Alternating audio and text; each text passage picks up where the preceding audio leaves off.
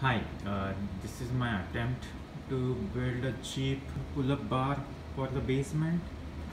Initially I was looking on Amazon and it was about like $175 plus probably shipping and tax shipped which I thought was way too expensive to build a pull-up bar for an I-beam in my basement. So I just uh, thought about getting some uh, gas lines, gas uh, pipes for about an inch in diameter.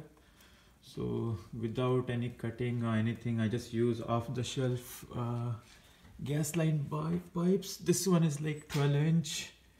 Then there is an elbow and then that is the uh, other one which is like about 4 inch pointed over there. Then there is this another elbow then this elbow this is like a small extension. I just wanted to have more extension just in case if required. The two inch pipe including the threads and this is a t-junction. And i also had bought some 18 inch uh, pipe for between this side and for on this side. I wanted to have a 12 inch pipe.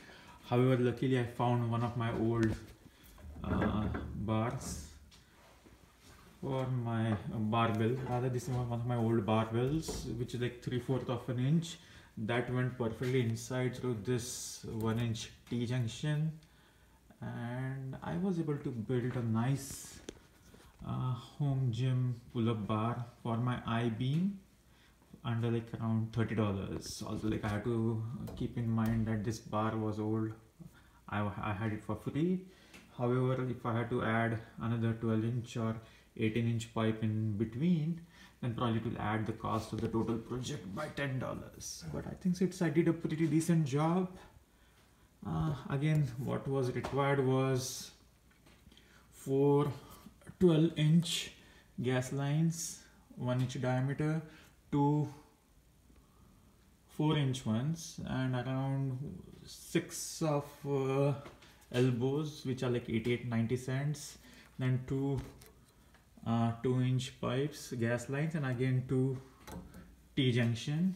Actually I could have used a 4 cross path also and I could have added one more bar over here to add more, more facility for my pull-up bar but I think I was fine with this. At least I can do full chin-ups and wide extension pull-ups through this and it should hold my weight which is like around 170 pound easily. Thanks for watching